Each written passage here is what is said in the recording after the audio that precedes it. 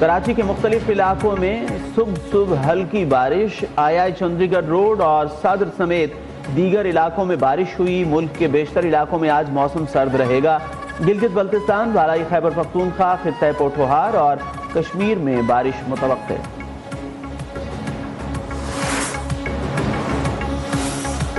गैर कानूनी अफगान बाशिंदों की वापसी का सिलसिला जारी। 25 से 29 जनवरी के दौरान मजीद दो हज़ार छह सौ सत्तानवे अफगान बाशिंदे अपने मुल्क वापस चले गए। 110 गाड़ियों में 132 खानदानों को अफ़गानिस्तान रवाना किया गया। अब तक पाकिस्तान से चार लाख अठहत्तर हज़ार तीन सौ अफगान बाशिंदे अपने वतन लौट चुके और वापसी का यह सिलसिला जारी है।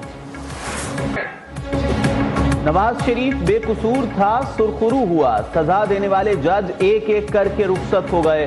मेरे केसेस पर निगरान बनकर बैठने वाला भी चला गया। कायद मुस्लिम लीग नून नवाज़ शरीफ का लाहौर में इंतबी जलसे से खिताब। मरियम नवाज़ बोली, आठ फरवरी को नौ मई वालों को उठाकर पाकिस्तान से भी बाहर फेंक देना है। शहबाज शरीफ की शेर पर मुहर लगाने की अपील, हमजा शहबाज का मुल्क को मुआशी मुश्किल से निकालने का दावा।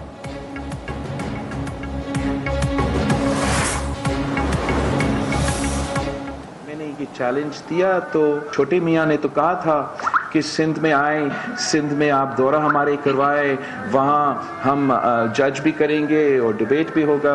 मैंने वो चैलेंज कबूल किया। मियाँ साहब क्यों डर रहा है हमारा चैलेंज से? क्यों नहीं आ रहा है डिबेट करने के लिए?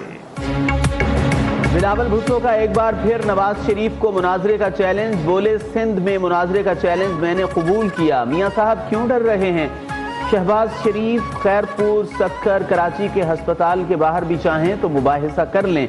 मीडिया से गुफ्तु में कहा, नून लीग भी जानती है, अक्सरियत नहीं चाहती। मियाँ साहब चौथी बार वज़ीर अजम बने, तलबा से मुकालमे में कहा, पीटीआई की तरह पीडीएम हुकूमत ने भी आईएमएफ मुआहदे की खिलाफ वर्जी की। गलत माशी फैसले का बोझ नवाज़ शरीफ और शहबाज शरीफ ने नहीं, आवाम ने उठाया। हमारा टारगेट हमेशा से पंजाब था और रहेगा। इस दफ़ा हमें हर सूरत पंजाब में बैठना है। बिलावल को वज़ीर आज़म देखना चाहता हूँ। हुकूमत बनाने के लिए मौलाना आज़ाद उम्मीदवार, जमात इस्लामी और बीएपी से बात करेंगे। मुस्लिम लीग नून के साथ हुकूमत नहीं बनाएँगे। सबक सदर आसिफ जरदारी का निजी टीवी को इंटरव्यू कहा, शहबाज को वज़ीर आज़म बनाया, मगर ये लकीर के फकीर हैं।